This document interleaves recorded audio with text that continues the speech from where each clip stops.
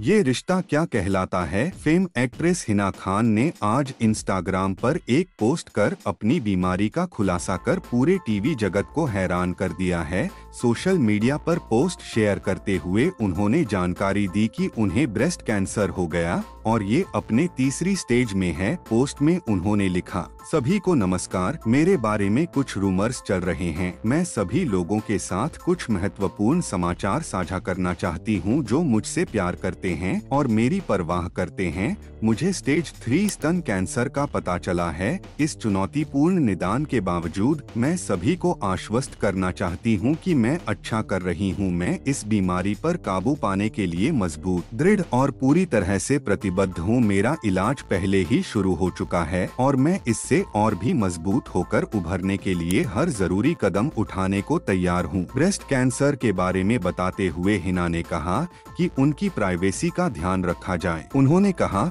मुझे आपके प्यार और सम्मान की कदर है, लेकिन इस वक्त हमारी प्राइवेसी का ध्यान रखा जाए। मुझे और मेरी फैमिली को पूरा यकीन है कि मैं कैंसर की जंग जीतकर जल्द ही ठीक हो जाऊँगी। पर तब तक थोड़ा ध्यान रखें। इस वक्त मुझे आपके प्यार और दुआओं की बहुत ज़रूरत है। इस मामले को लेकर अपनी भावनाएँ हमें कमेंट बॉक्स में लिखकर ज़रूर बताएँ।